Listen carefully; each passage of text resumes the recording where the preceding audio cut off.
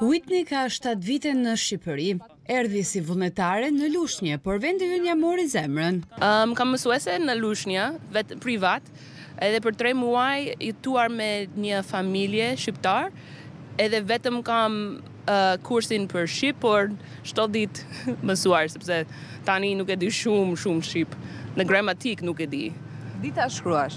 Po, di të shkruash, po. Thotë se nuk është përballur me racizëm këtu, përkundrazi, njerëzit impresionoheshin prej saj. Prekja e flokët? Po, zakonisht ose pa puet, vetëm shkoj me duart dhe ëh, më fal. Po, është ok për mua. Dashurinë që ka për Shqipërinë mundohet ta shprehë në çdo formë.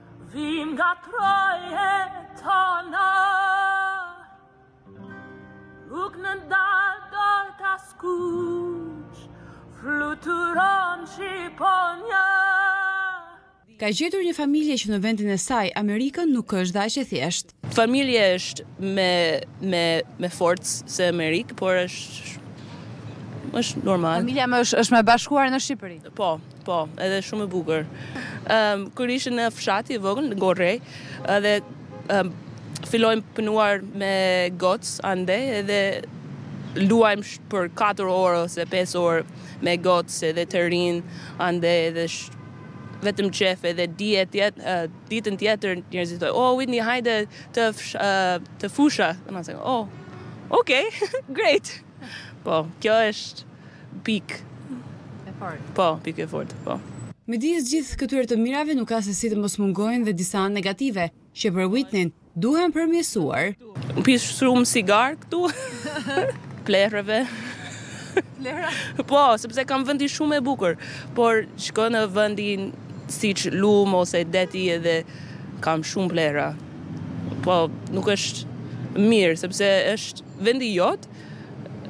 Pse nuk bëj pastër?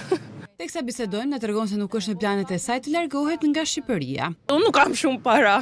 S'ka nevojë për shumë para këtu në Amerikë vetëm para nuk kam para je varfër je go away këtu kam familje kam ushqim të mira për pak pak lek njerëzit këtu kam e lumtur jo zakonisht njerëzit këtu e thonë o dua të largo dua dua të të Bëj një punë më mirë, por pse?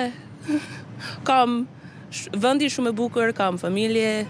Ndryshe nga të rinjtë shqiptarë, Whitney Peck ka arritur të gjejë më të mirën e Shqipërisë.